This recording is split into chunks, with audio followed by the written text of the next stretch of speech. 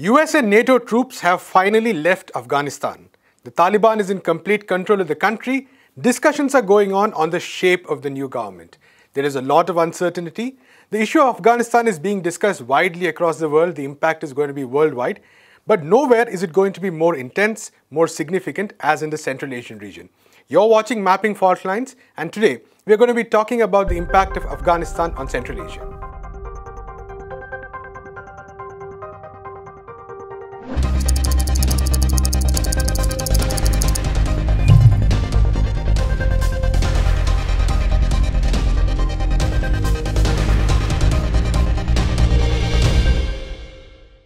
We're joined by Prabir Purkayastha. Prabir, there's been a lot of talk about the 20-year invasion by the US, which started from 2001. But we also do know that the intervention is much longer. It's from the late 70s. And uh, it was also against communism. They claimed it was against terrorism. But there's also a substantial amount of geopolitics and resource uh, warfare or resource competition involved. So could you maybe take us through these angles as well, which you know, complicate it and make it go beyond just the 20-year war? You know, there are two myths that are associated with the US intervention in Afghanistan. One is it was a nation-building effort. It was not just against uh, an intervention uh, against the Taliban or bin Laden. It was nation-building, women's rights, and so on. Right. Now, considering that women's rights at the moment are under attack in the United States, the logic of their intervening in Afghanistan for women's rights really rings hollow. But as you said, if we go back to why did the United States invite, as they claimed, Brzezinski claimed, the Soviet Union into Afghanistan to trap them in what they called was the Soviet Union's Vietnam.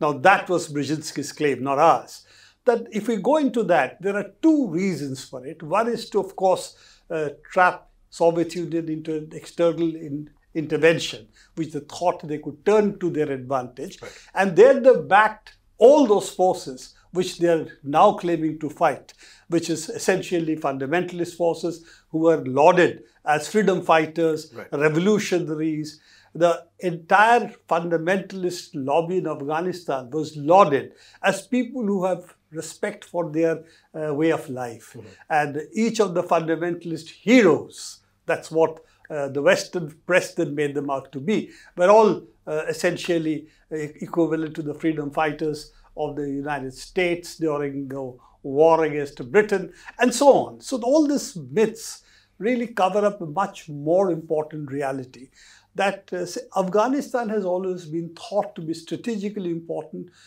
not only because it abuts South Asia, of course, India and Pakistan, but it also abuts West Asia and, as you said, Central Asia. Right. It also abuts China, which has always been a target.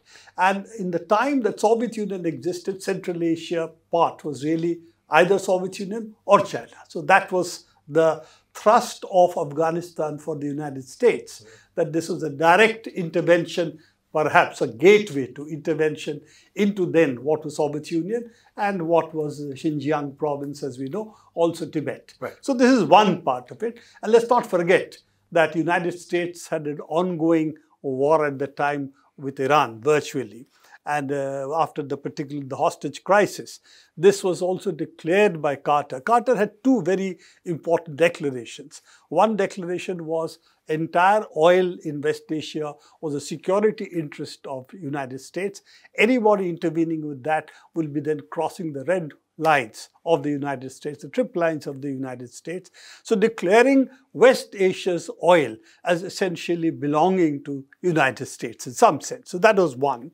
And it was important because dollar was underpinned by oil. Right. And therefore, dollar was extremely important for US financial control, which it wanted to assert over the world, which it did assert after the fall of Soviet Union particularly.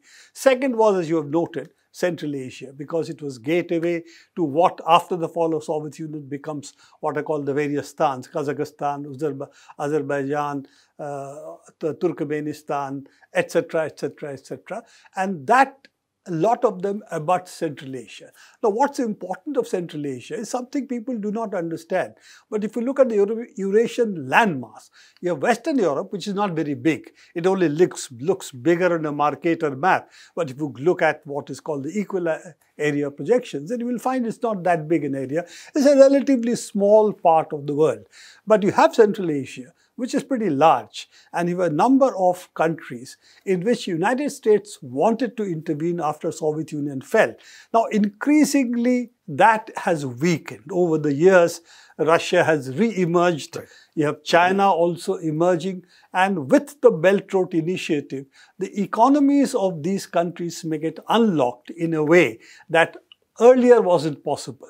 There are also gas and oil pipelines in these areas. And if you look at the essentially the mineral wealth of these areas, including gas fields, oil fields, connectivity to Russia and to China would really unlock a lot of right. these resources for these countries and for also their growth, integration to the global economy. So if you look at all of that, apart from the mineral riches of Afghanistan, which I think is going to take a lot longer to come into play.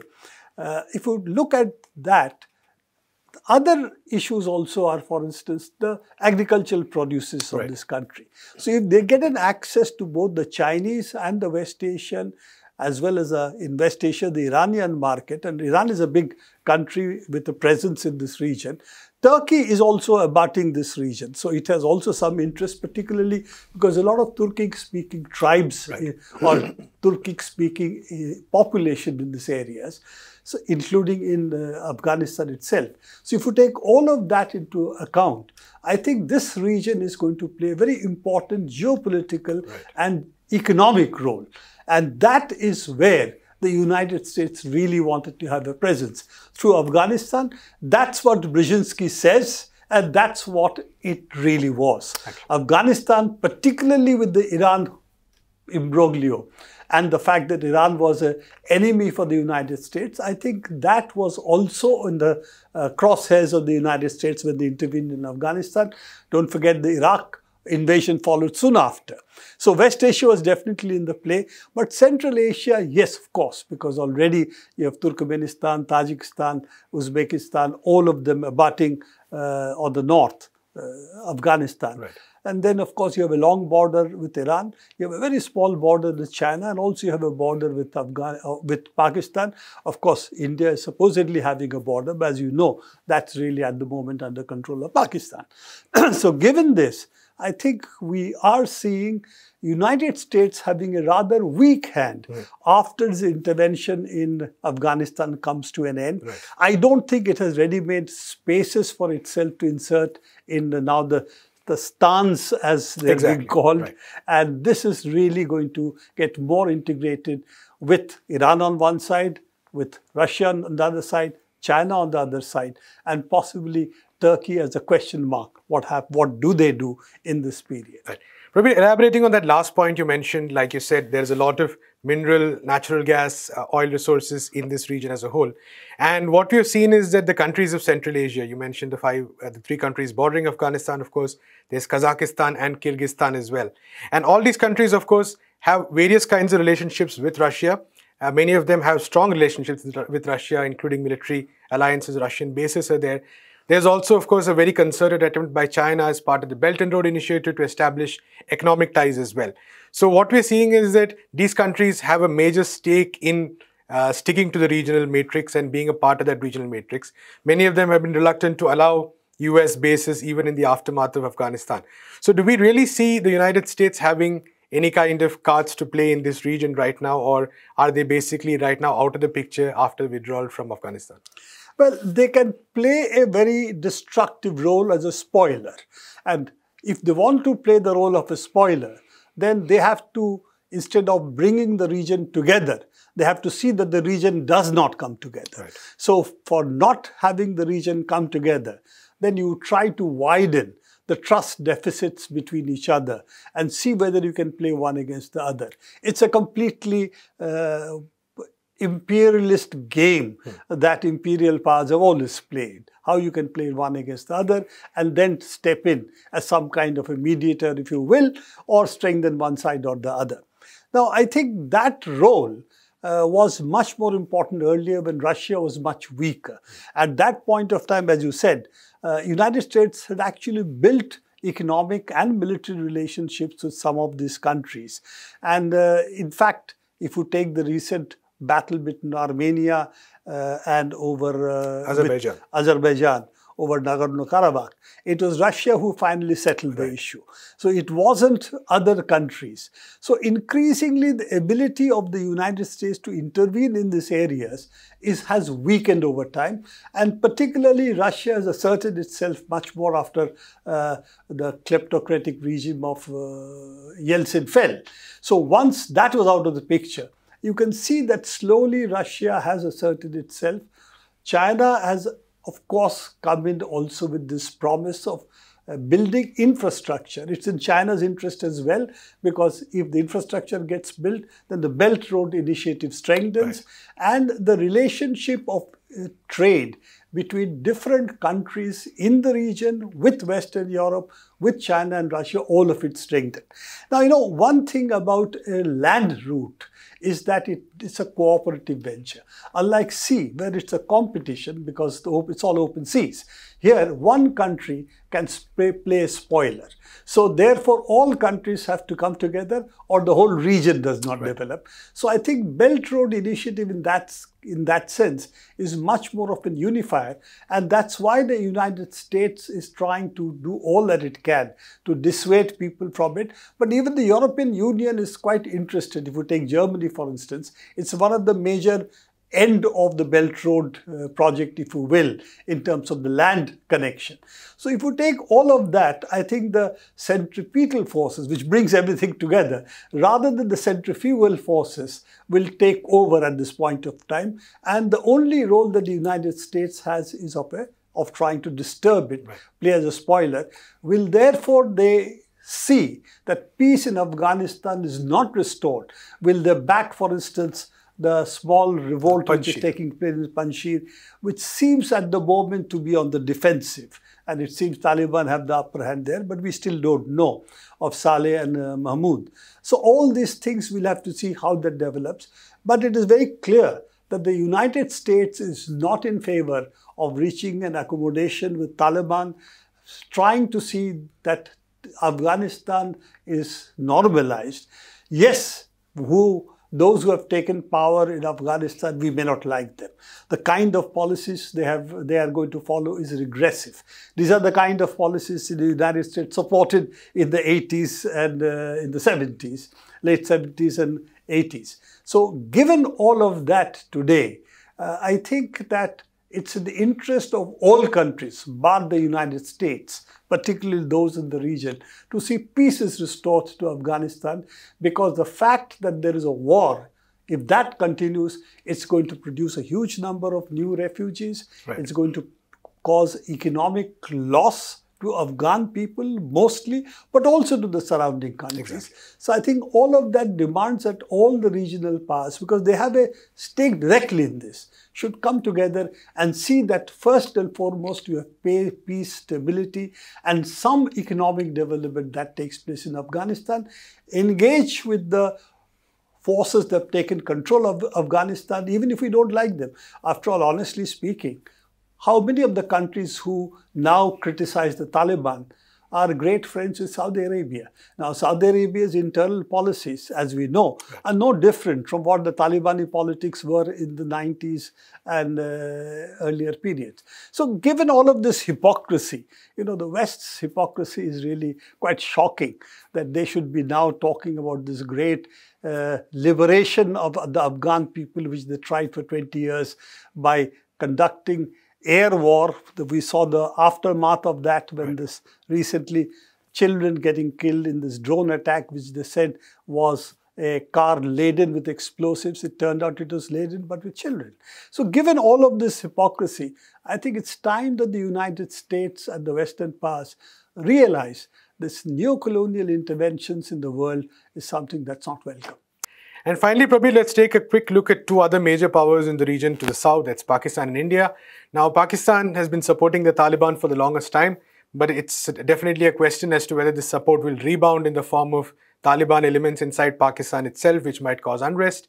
And Pakistan also, of course, having a great interest in the Belt Road Initiative and in good relations with China and the development of the region. And India, on the other hand, we see that there is talk of India having missed the bus in not engaging with the Taliban and other players at the right point of time. So, what are the possibilities ahead for these two countries as well?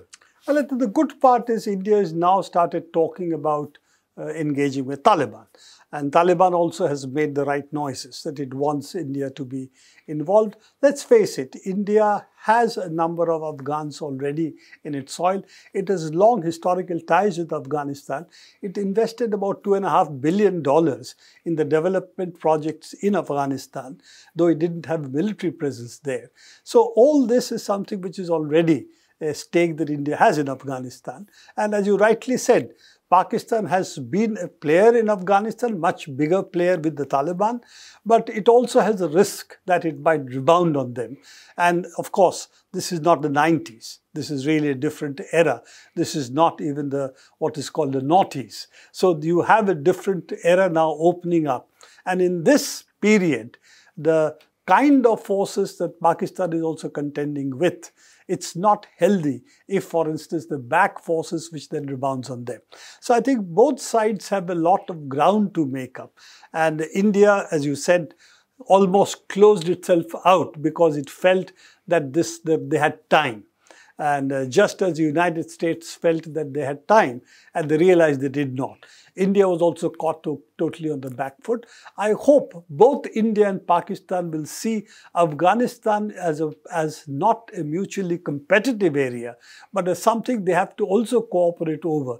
Because Afghanistan is much too complicated, much too big, and playing a spoiler is much easier right. than trying to bring peace to the region. And I hope that good sense will dawn on both these countries not to play a zero-sum game, but really combined in together and with all the other countries in the region to help stabilize, bring peace to Afghanistan, look at its economic development, and of course engage with the people over there so that a more progressive uh, government, more, more progressive uh, you know, institutions develop right. over there than what happened in earlier Taliban rule. Taliban claims it has changed, but we have to see whether the claims exactly. are right. And the fact is, we don't seem to see a very inclusive government either. These are question marks over Taliban, and I think those question marks are going to stay. stay. What we don't need is people trying to stir the pot in a way which does not benefit anybody, but also harms the cause of peace in the region. Absolutely. Thank you so much, Prabir, for talking to us. That's all we have time for today. We'll be back next week with mapping fault lines and geopolitical issues from across the world. Until then, keep watching NewsClick.